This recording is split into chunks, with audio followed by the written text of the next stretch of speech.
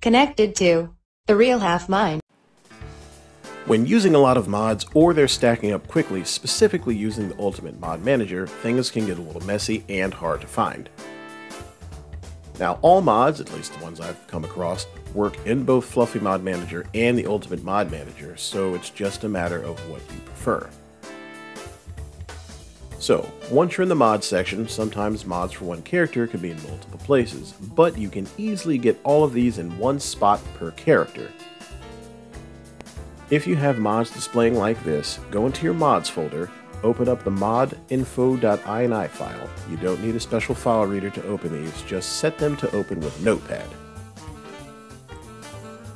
Once open, if you do not see this category line, a mod like this won't appear like it's part of your character menu. Meaning you click on the character you want to load a mod for and see all of the options. If you don't have a mod with this category line, you can just type it in like this.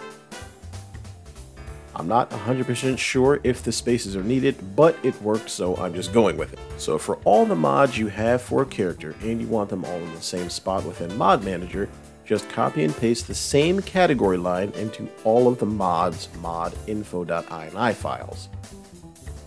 And then before you exit, be sure to save your changes in Notepad. Once you reopen the game, we are now back in the mod manager and you'll see them all in one spot. There are some rare occasions where the categorizing process doesn't take full effect. In those cases, add the mod after the game has loaded. Then once you have it in the correct spot, wherever it is on your hard drive, then hit reread directories. It's what I had to do for a couple of these to get them to properly go into the right spot.